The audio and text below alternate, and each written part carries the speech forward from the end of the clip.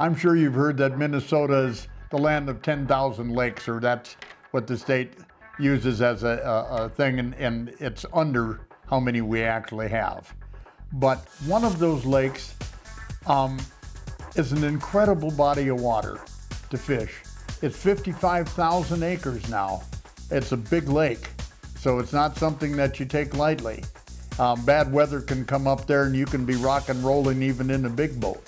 But most of the time it's not bad weather, it's good weather. And, and when it is, Leech Lake um, by Walker, Minnesota is a place you want to go to. I got to fish with Jeff and, and, and uh, Bobby. We fished five hours, maybe six hours, something like that total. And in the course of that, we had, Jeff had one walleye that was over 10 pounds. Bobby had another one that was nine or nine and a half pounds. Um, I had a couple of, we had several other seven, eight pound fish. We were targeting big fish. We were using bigger minnows, and it's the time of the year and in October when that water starts cooling down that those big fish start to go on the feed bag. Fish feed for three different reasons sustenance, to stay alive, to grow, and to fatten. And when they come into this fall period, they're going to be looking for the biggest meals that they can get to fatten. So your opportunities to catch big fish are generally best in fall. And then you give them big bait to work with. But the walleye population is unbelievable.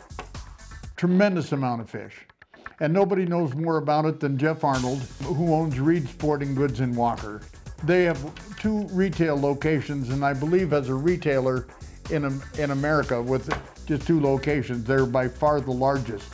I know that their amount of business that they do is more for a lot of companies than the distributors do for those companies out of a retail store. Um, they do online as well.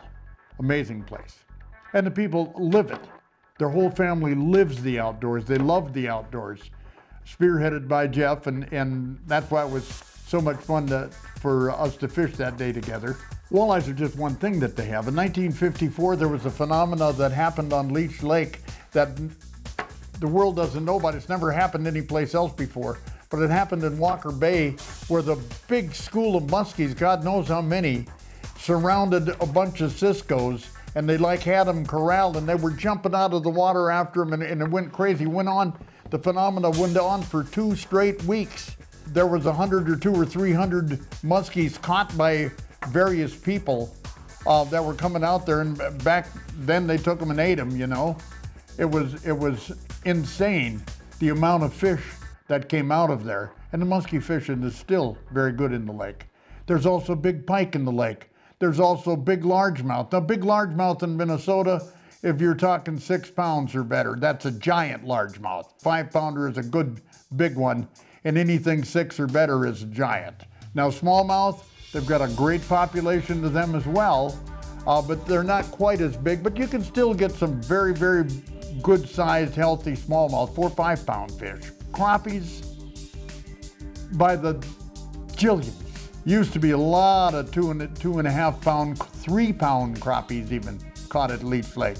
They're not that size anymore, but they're still uh, two pound crappies and bigger well, within the lake, no question about it. There's also real good sunfish fishing. I mean, nice gills in some places. There's great burbot fishing. And you might say, what's a burbot? A, fr a freshwater lingcod is what they are. Um, people call them uh, eel pout or other things. They come up. They're very, actually very good eating fish if you know what to eat on them. The sides of two sides of the tail and the top of the backstrap and throw everything else away. That is like freshwater lobster. Boil it up and put it with garlic butter. I mean, it's hard to tell the difference between it and uh, lobster. It really, really is. And then there's whitefish, big ones. Um, there's um, perch, lots of them, and really, really nice ones sometimes. There's so many kinds of fish. I mean, there's more, you come up there and try and fish a different fish every day, you couldn't do it in a week. It'd take you about two weeks to cover all the different species of fish there, if that's what you were after. So it's, it's, it's a, a factory, a fish factory, and it's, it's got deep water and a lot of shallow and a lot of weeds and so many things that give it the ability to be what it is an incredible lake to fish. Now, Jeff decided to build an incredible place to stay when you come on up to enjoy the fruits of Leech Lake.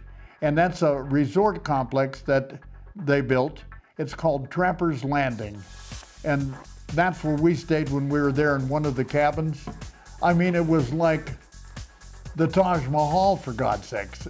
Each, each one of these things are, are incredible. You look at them and you go, holy buckets, I can't imagine what it costs to build something like that. You can cook your own meals. They've got a restaurant you can go eat at, or there's other restaurants you can drive to. But the different designs of the different types of units that they have is kind of cool. Inside and out, they're, they're, they're just plain sweet. Some of them got fire pits outside where you can have a nice fire and sit around it in the evenings. They're, each one is kind of unique. They all, as a group, make up Trapper's Landing, but they're all different, which is something I thought was very, very nice. They've got a beautiful marina, they've got a beautiful pro shop, tackle shop, they've got knowledgeable, good people working there, guys that fish themselves, that work the, the dock and, and the, the minnows and all of that kind of stuff down in the dock area. It, it's set up to serve you whatever it is that you need and serve you in first class style like you can't imagine unless you've seen it or been there. So let me encourage you to number one, do some digging on Leech Lake and you'll find out everything I told you is an understatement to what's really there. There's a lot of catching to do on Leech Lake. Secondly, Trapper's Landing is something that you've got to see in order to believe how incredible it is. But the best thing you can do right now is go to trapperslandinglodge.com and then you can see what it's all about. You can see the inside of the units, the outsides of the units, and see if it's something where you would want to take your family on vacation. Or you want to come up with a bunch of guys and just go hammer the lake for a while. I know I'm going to be up there again more this year. I've fished Leech many, many, many times over the years. Leech is not that big and it's broken up more and there's more bays. You can always find some place to fish and some place to put your boat in at to get to those places you can fish if it's too windy to cross the main portion of it. It doesn't get much better than that. It has so many species and it has the ability to grow so many species that you're not going to fish out Leech Lake. And they monitored very closely. When the walleye population was going down, they realized the problem is cormorants and they took 10,000 of them out. And that two years or three years later, the walleye population was back. The cormorants were eating just plain too many of them. I hope you take my advice and check out Trapper's Landing and check out Reed Sporting Goods in uh, Walker and come on up and visit Minnesota and do some fishing on the lake where you can catch damn near any kind of a thing you want but catfish.